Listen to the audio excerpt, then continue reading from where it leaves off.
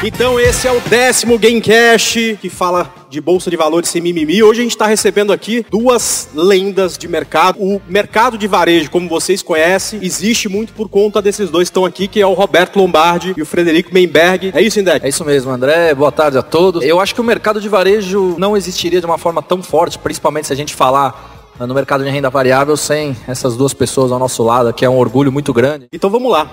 Faltava cinco minutos para passar o mercado na parte da manhã. Chegou um amigo meu que era operador especial, falou: Lombardi, preciso falar com você. Falei: pelo amor de Deus, peraí que eu tô posicionado. Lombardi, preciso falar com você. Então, pera um pouquinho, deixa eu zerar aqui. Zerei e tal. Falei: o que, que aconteceu? Você não sabe.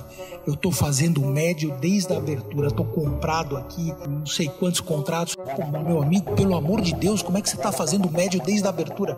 Ah, começou a cair, resolvi comprar, fui comprando. Agora eu não sei o que, que eu faço. Já até liguei pro meu pai, quebrei. Você falou pro teu pai que você quebrou? Não, falei, pedi pra ele vir aqui pra bolsa que eu preciso conversar com ele. E faltava, faltavam dois minutos para tocar a campainha. Eu falei, pelo amor de Deus, quando você tá perdendo? Ah, tô perdendo. Tá, tô, quebrou mesmo.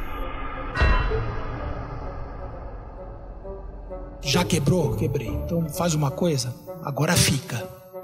Fica porque já quebrou, quebrado por quebrado já está quebrado, então não vai mudar muito. Então vamos esperar aí o horário do almoço, esse intervalo de uma hora e meia, e vamos ver o que, que acontece. O mundo estava um desastre por conta da crise na Ásia.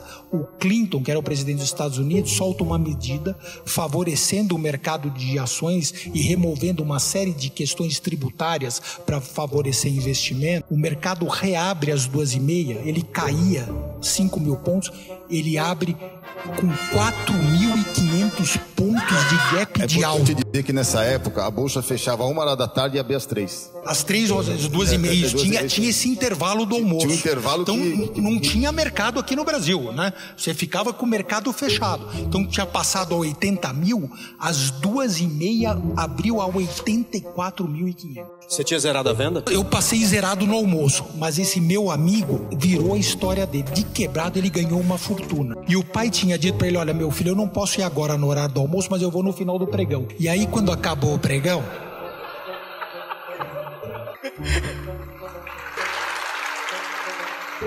E aí, quando acabou o pregão, eu saí, saí ali na Praça Antônio Prado e ele estava com o pai. E aí eu já conhecia o pai, eu fui cumprimentar. Falei, o senhor vai bem e tal? Eu vou muito bem. Olha, eu sempre disse que meu filho tinha jeito para trás.